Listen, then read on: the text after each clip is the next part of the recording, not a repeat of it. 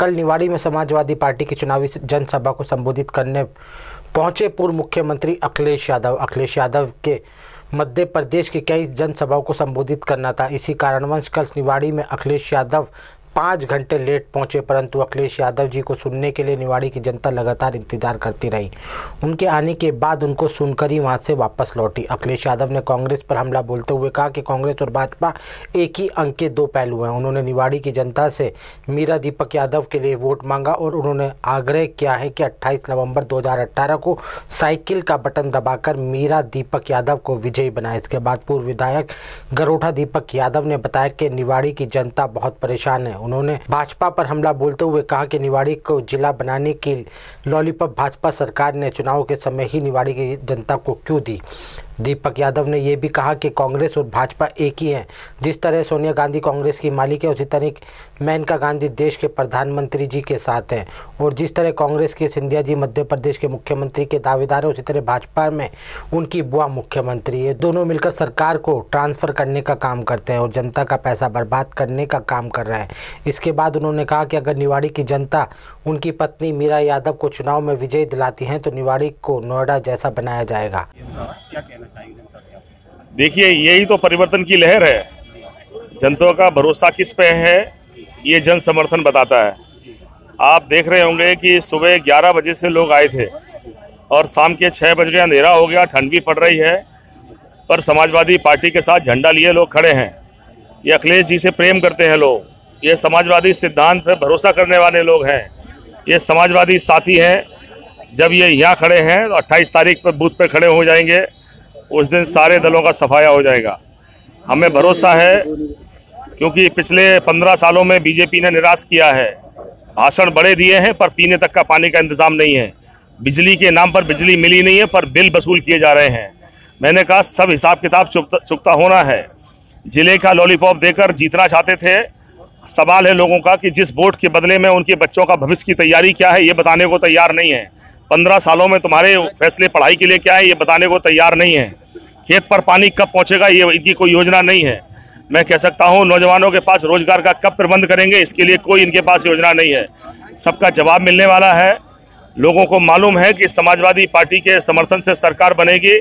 तो समाजवादी पार्टी के घोषणा पत्र में कहा गया है कि शत प्रतिशत कर्जा माफ़ होना चाहिए। कर्जा माफ़ी के नाम पर किसानों के साथ धोखा नहीं होना चाहिए।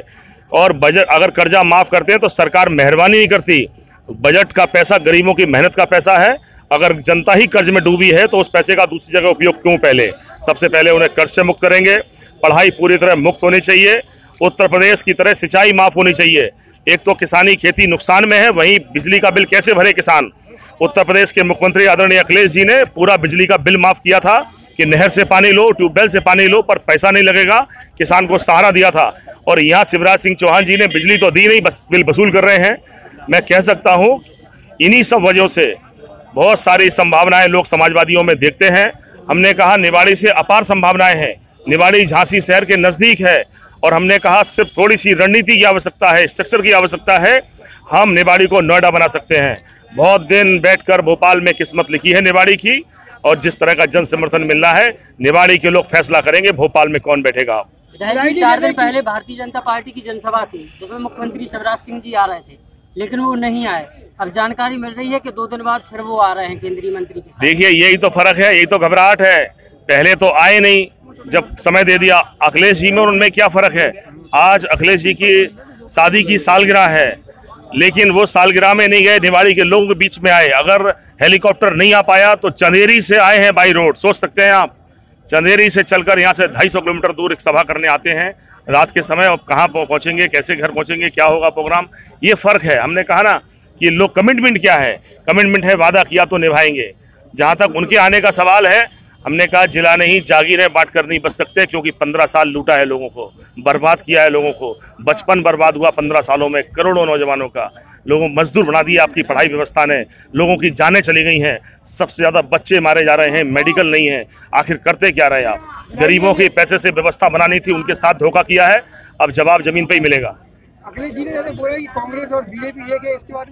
बिल्कुल एक है। आप देख सकते हैं इंदिरा गांधी जी की बड़ी बहू सोनिया गांधी कांग्रेस की मालिक है।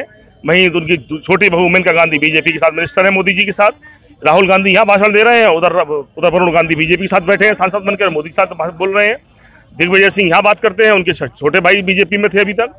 आप सिंधिया जी यहाँ मुख्यमंत्री के दावेदार हैं, उनकी बुआ जी बीजेपी में बगल में मुख्यमंत्री हैं।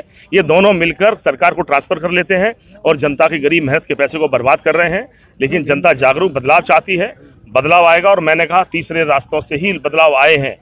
जब तक ये बनी, बनाई व्यवस्था नहीं उखड़ेगी, नई व्यवस्था जन्म नहीं ले सकती। और बहुमत के लिए भी हमने कहा, कि लोगों से कहा कि बहुमत का इनका मिजाज बदल दो।